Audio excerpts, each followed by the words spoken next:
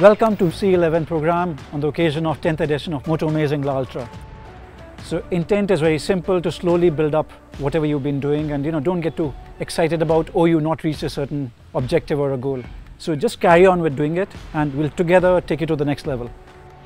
Monday is a rest day. The reason is recovery is a very important part of any program. If you don't recover enough, injuries come along. So Monday is going to be a very important rest day for you.